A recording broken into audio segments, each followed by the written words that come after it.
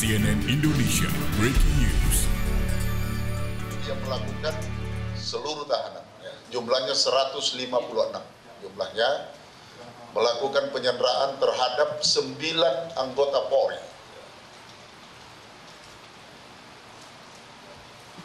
Yang di antaranya lima anggota Polri gugur dengan cara pembunuhan sadis ya nanti rekan-rekan bisa melihat langsung ya hasil visum et repertum dan penjelasan dokter Ya.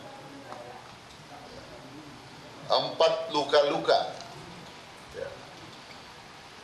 yang luka-luka tiga mendahului artinya mendahului keluar pada saat sesaat setelah kejadian pada tanggal eh, pada hari Selasa malam Kemudian satu terakhir atas nama Brigadir Iwan, ya Iwan Sarjana itu baru saja dibebaskan pada pukul 2 dini hari tadi hari ini. Ya.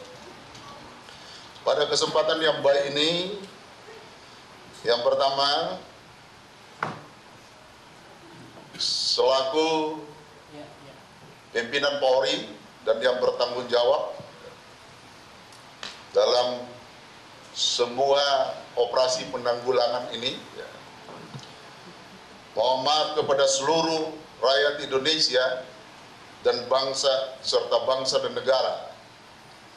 Karena seluruh rakyat Indonesia, bangsa dan negara terganggu atas kejadian ini. Menjadikan kejadian ini pusat perhatian seluruh anak bangsa dan pusat perhatian dunia. Jadi Polri memohon maaf sebesar-besarnya atas kejadian ini walaupun Polri menjadi korban ya pada saat ini. Walaupun tapi Polri tetap memohon maaf ya, karena ketergang membuat keterganggu dan penyitaan waktu pikiran seluruh anak bangsa sehingga terkuras perhatian dan pikirannya. Yang kedua secara khusus, jajaran Polri memohon maaf kepada keluarga korban anggota Polri yang gugur. Keluarga korban anggota Polri yang gugur ya, sebanyak lima orang dan yang luka-luka empat orang. Karena institusi Polri tidak sempat menyelamatkan jiwa dan raga yang gugur.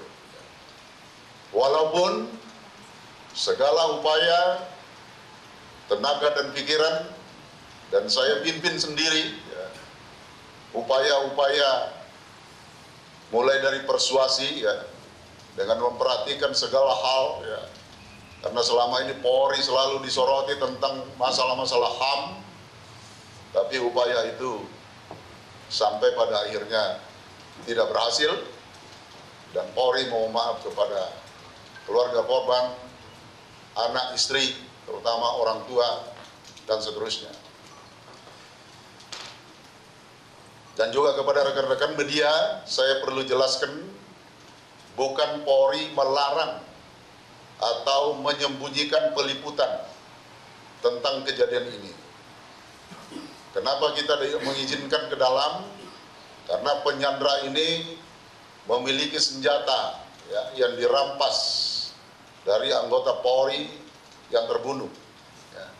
Ada senjata panjang yang jarak tembaknya 500 sampai 800 meter ya. dan itu bisa menjangkau sampai ke jalan sehingga rekan-rekan sekalian kita alihkan ke tempat ini.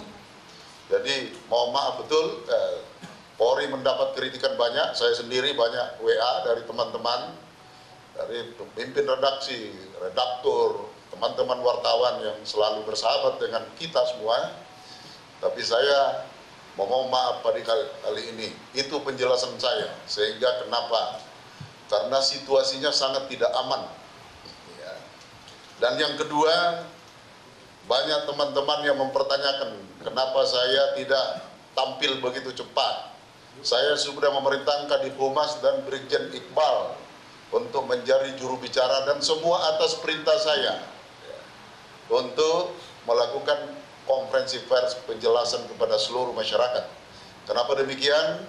Karena saya memimpin sendiri operasi ini supaya tidak terganggu menjelaskan dan saya harus berkonsentrasi untuk mengarahkan semua kekuatan, semua satuan, selu, semua individu-individu yang akan melakukan operasi penanggulangan ini sehingga kita bisa berhasil meminimais semua kejadian, meminimais korban jiwa, terutama korban nyawa, ya, meminimais sedemikian rupa. Ya.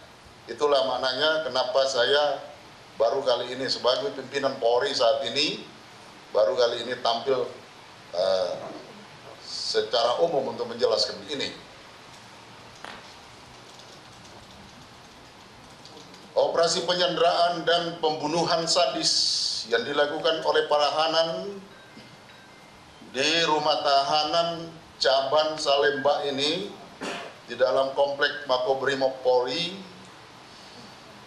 berjalan selama 36 jam 36 jam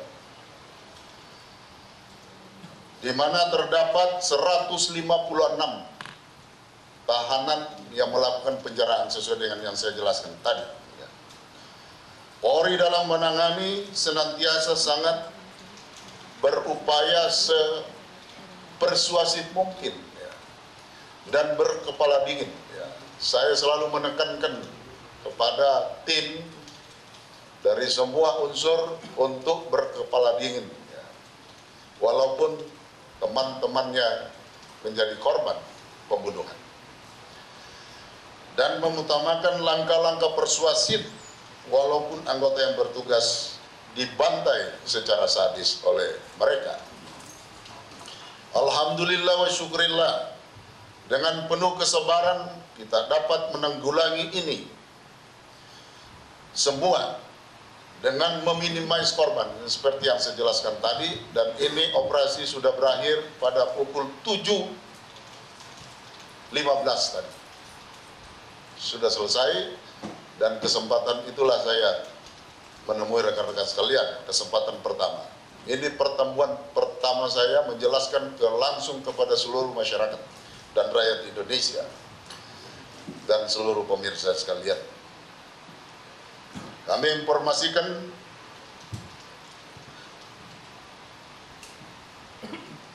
saya ucapkan terima kasih khususnya kepada seluruh jajaran Polri yang dengan penuh kesabaran melaksanakan tugas ini dengan baik. Ya, ini saya tujukan kepada jajaran Polri karena ini sebuah tugas yang sangat berhasil, yang kita anggap sangat berhasil.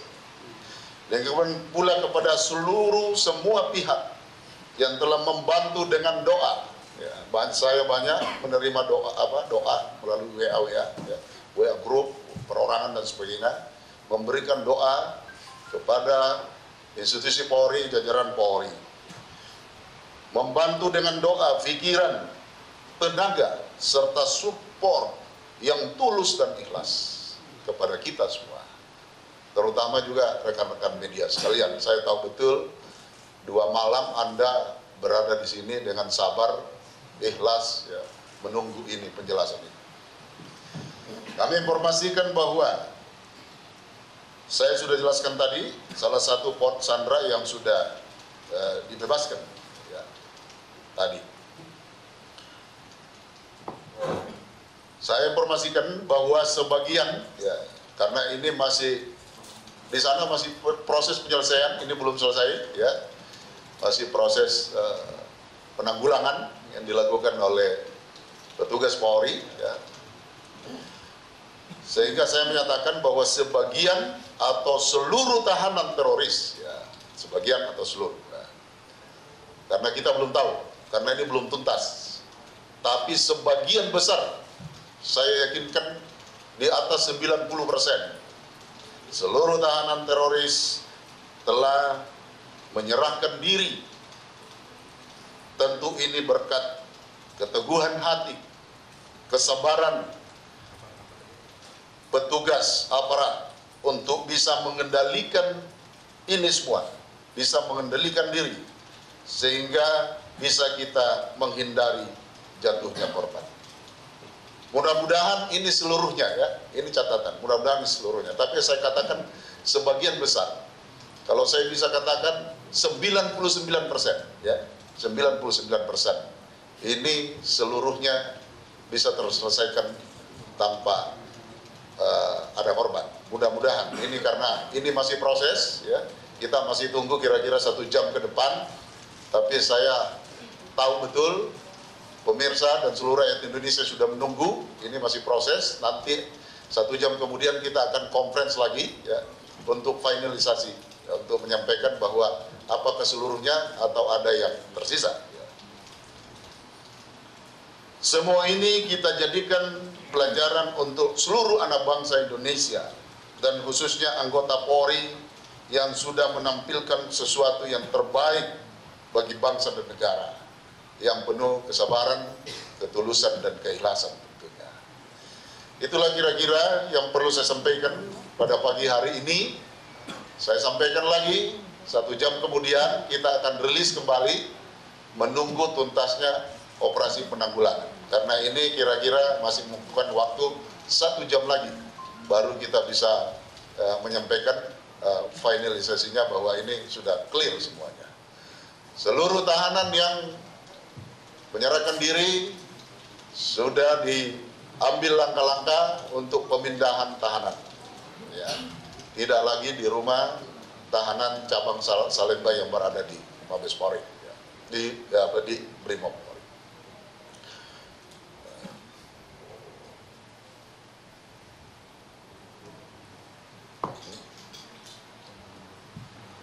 Ya, silakan rekan-rekan sekalian ya Uh, ya. Ya. Sedang, sedang, sedang berlangsung. Kira-kira selesai paling lama satu jam, paling lama. Ini apakah artinya saat ini sedang berlangsung proses negosiasi? Tidak ada negosiasi, tidak ada negosiasi lagi. Ini karena sudah menyerahkan diri sebenarnya. Jadi ini semuanya proses penanggulangan bukan negosiasi. Ya.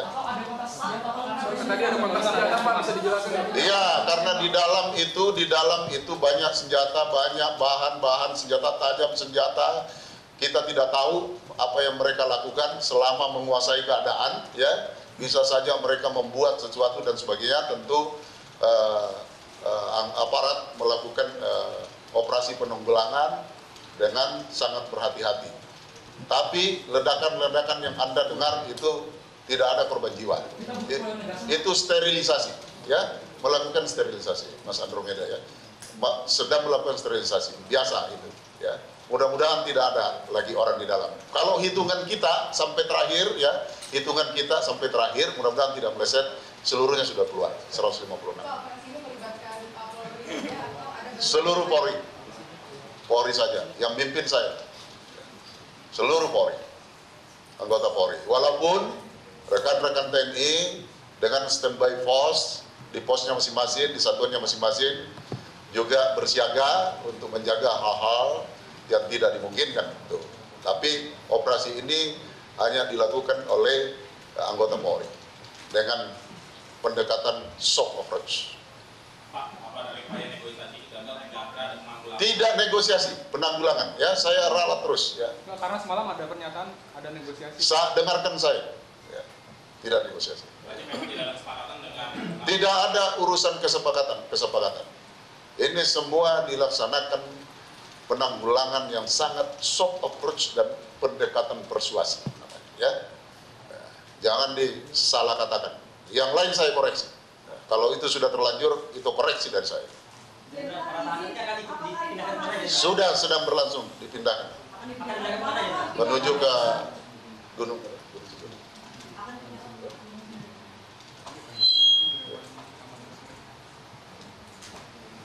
Uh, sedang dalam proses uh, ruang isolasi dulu, masih dirahasiakan tempatnya. Belum, belum. Kita akan bicarakan dulu dengan Menkumham dan Dirjen Lapas. Ya?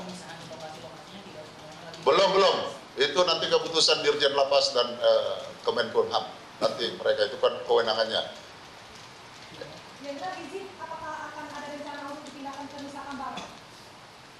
ada salah satu opsi.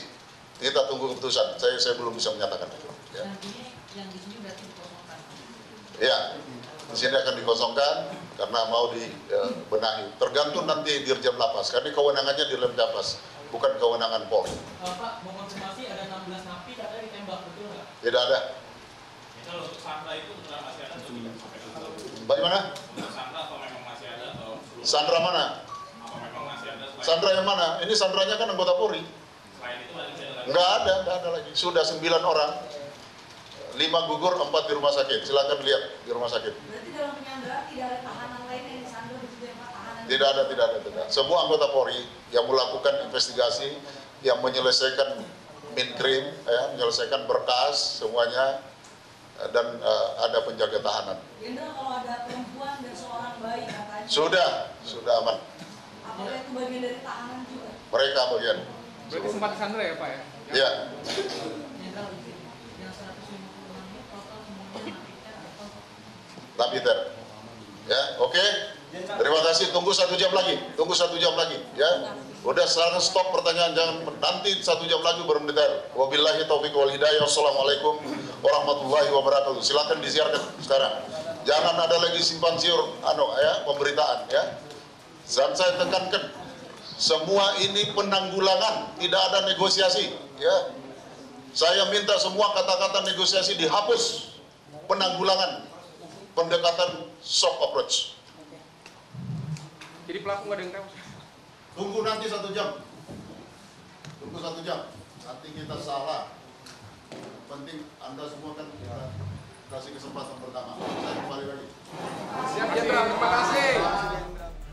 Ya, pemirsa Anda menyaksikan breaking news dan tadi baru saja kita saksikan satu pernyataan pers dari Komjen Syafruddin Wakapolri mengenai bagaimana proses yang terjadi saat ini di rumah tahanan Salemba di Kompleks Makobrimob yang eh, kita sama-sama ketahui ini proses yang sangat panjang ya.